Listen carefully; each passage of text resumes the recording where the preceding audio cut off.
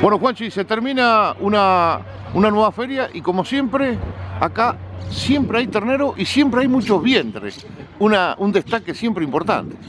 Sí, viste que, buenas tardes ante todo, eh, fue una feria que, que, todo porque tuvimos muchísima hacienda en la balanza, muchas vacas gordas, manufactura, conserva, vaca para el campo. bueno, tardamos, era mucha cantidad, mucho detalle, pero se vendió todo. Después llegamos a la invernada con algunos lotes novillitos, tuvimos la suerte que viniera el amigo Heriberto, que siempre lo hemos invitado con sus hijos. Este, y después el ternero más chico, ya no es el ternero que hubo en su momento, ese ternero bueno, bueno que te acordás vendimos hace dos o tres meses atrás, ya está más deslucido, con más, más peludo. Pero bueno, el ternero también se vendió, la hembra también se vendió y después, como vos bien decís, llegamos a la vaca y la vaca se vendió, se vendió como tiro. Así que para mí una alegría, no esperaba un remate tan ágil, francamente esperaba un remate más difícil.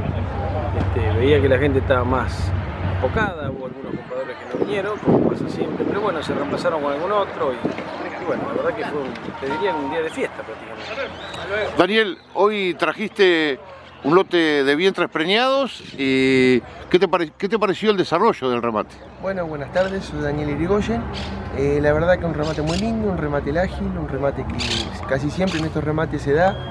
Eh, la verdad que se vende muy bien y siempre nosotros acompañamos la casa. Nos venimos y brindamos un servicio. ¿Qué categoría de animales trajiste? Nosotros trajimos unas vacas preñadas, con unas preñeces buenas, preñeces parejas y bueno, vinieron a venderse nomás. ¿Cuántos se vendieron?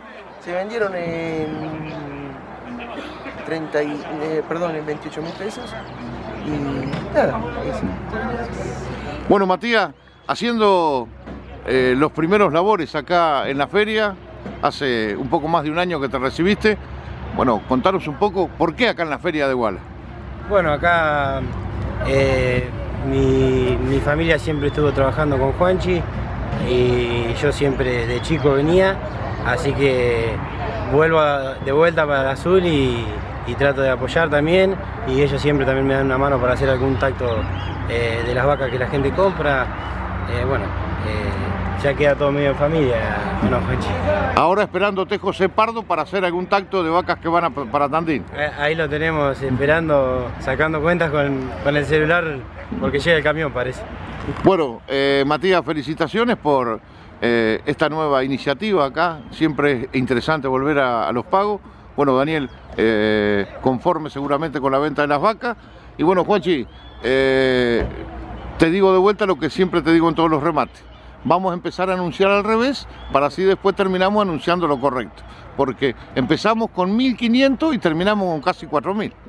Y bueno, es la alegría y la suerte para mí que las cosas se den y también me pone muy contento que los chicos jóvenes estén tan, tan a gusto y poder este, que puedan ir conociendo gente, puedan ir desarrollando su trabajo, se han esforzado, han estudiado, así que para mí una alegría que de alguna manera se vayan relacionando y bueno, nosotros ya con menos ganas de trabajar y el futuro van a tener que trabajar ellos. Nosotros que con dos ya estamos medio para retirarnos. ¿eh? Último dato, lo más importante para un feriero, más de 120 remitentes, eso es lo más importante. Sí, sí, la verdad que venimos con eso este, sin aflojar en ese sentido, viste, hoy que parecía un remate chico había 120 y pico remitentes, la verdad que una alegría, un orgullo muy grande que, que la gente siga confiando en nosotros y bueno, apartando y clasificando y poniendo y sacando y después bueno, en el caso de las vacas también, ¿viste? Tenemos compradores para dos vacas, tres vacas, de repente viene uno y yo quiero una vaca. Bueno, te vendo una, ¿viste? No hay problema. Pero nosotros tratamos de que sea una cosa abierta, que todo el mundo tenga su lugar y su espacio, así que ese es el orgullo de alguna manera de nuestra casa.